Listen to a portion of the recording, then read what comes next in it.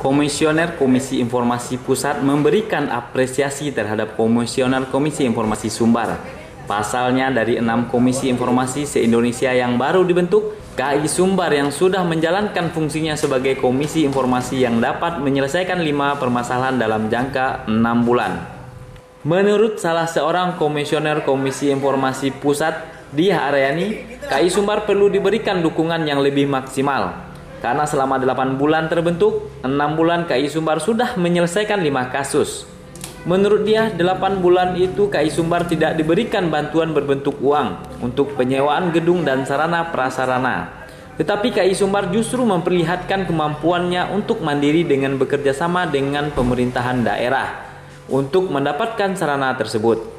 KI Pusat memiliki kepedulian terhadap uh, tugas dan fungsi komisi informasi yang diamanatkan oleh undang-undang uh, yaitu penyelesaian sengketa informasi. Nah, ke, keberadaan atau uh, KI Provinsi Sumatera Barat sebagai KI yang baru terbentuk uh, mungkin urutan ke-25 atau 26 uh, kami merasa perlu untuk diasistensi. Jadi kami datang kemari untuk me memberi dukungan kepada KI Provinsi Sumatera Barat agar dalam melaksanakan tugas dan fungsinya menyelesaikan sengketa informasi eh, berjalan dengan lancar. KAI Sumbar harus diakui bahwa KAI Sumbar jadi uh, dalam satu tahun belakangan ini ada sekitar enam uh, KAI provinsi yang baru terbentuk. Dan KAI Sumbar meskipun adalah yang paling melejit geraknya, progresnya dibandingkan beberapa KAI ada KAI Bengkulu, Papua, kemudian Jambi uh, Sumbar dan Sumbar adalah yang paling cepat prosesnya.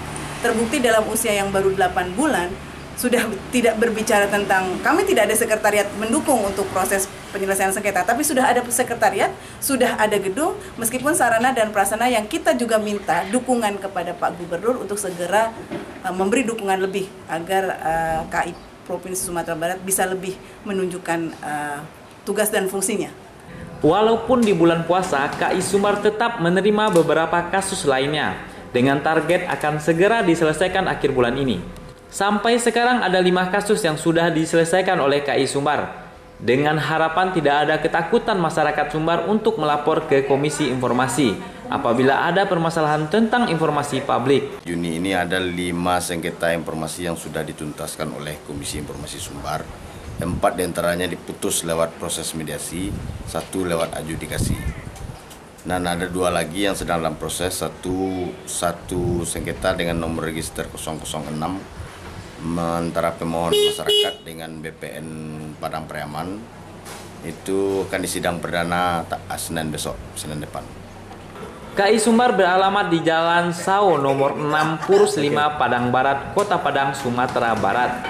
Apabila ada masyarakat yang ingin melaporkan kasus tentang informasi publik, silakan ke KI Sumbar. Tim Liputan Sumbar TV.